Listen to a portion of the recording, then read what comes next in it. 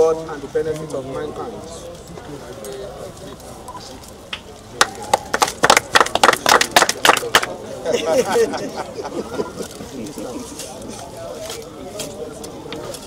Sport is one of the most established means of fostering togetherness and unity in any society. In a bid to unify the youths of Ifako-Ijaiye local government area and give them opportunities to showcase their talents, the council leadership, in collaboration with Bet King, has commenced the construction of an ultra-modern mini sports complex in Iju Ogundimu community. The foundation laying ceremony was graced by council officials, Bet King associates, and residents as they all participated in the exercise. Speaking on the project, the council chairman, Usman Amzat, said the facility will bring the entire community together and raise the standard of infrastructure in the LGA. He expressed confidence that the community will cooperate with the contractors. I tell people everywhere I go that it is only sports that brings everybody together. It is only sports that brings everybody together, whether you are black, you are white, you're a Christian, you are a Muslim, you're a pagan, whatever you are. When we get to the field, we don't we don't even know he's seated beside us. So we realized that during our inter-world competition, everybody was happy. We are all there and we were happy together. So that is one of the things we have also decided that we will do in Ifako-Ijaiye. And that dream is coming to reality today. So by the special grace of God, it will not be the last of its kind in Ifako-Ijaiye. We have started well, and uh, what we have been doing, it, it would have not been possible if not that you have been supporting us. The managing director of Bet King, Gosi Nkanwoke, pointed out that the organization's ambitions are aligned with that of the Ifako-Ijaiye Council authorities, hence the partnership. Adding that the sporting complex will boost socio-economic activities in the community and foster togetherness among youths in the LGA. Welcome us all to this wonderful event. It's a first time event for us at Kingmakers and I'm also happy to hear that it's uh, same for, for the local government. Um, when I met my brother a few a few months ago and we started our conversation and he shared with me you know, the, the, the HEATS uh, agenda that he had for the local government. I was uh, super happy that he aligned with our own goals at Kingmakers and Bet King um, for the development of sports and uh, youths uh, in Nigeria. You know, for us as a business in sports betting and entertainment, and you know, sports entertainment, with our focus around the country, we come in, you know, we come in contact with young people, we come in contact with youths, and we come in contact with community.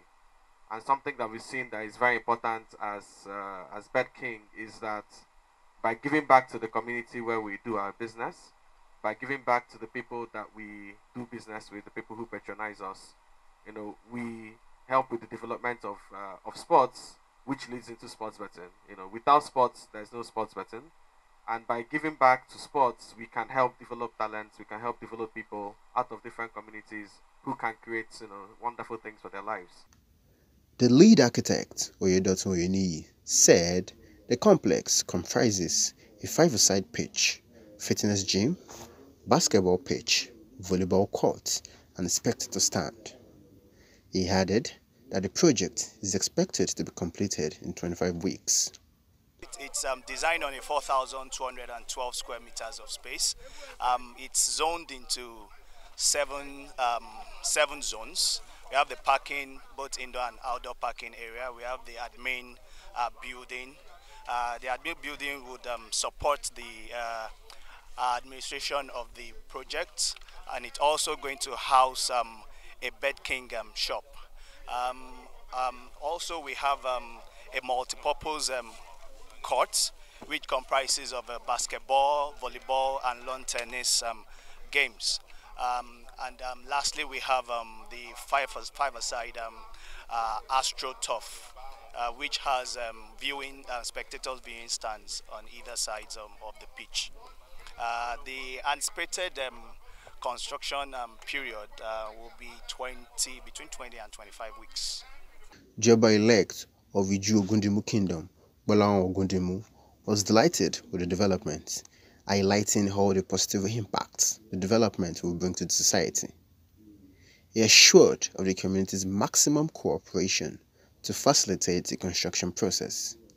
When the chairman discussed the issue of stadium with me, I was so great.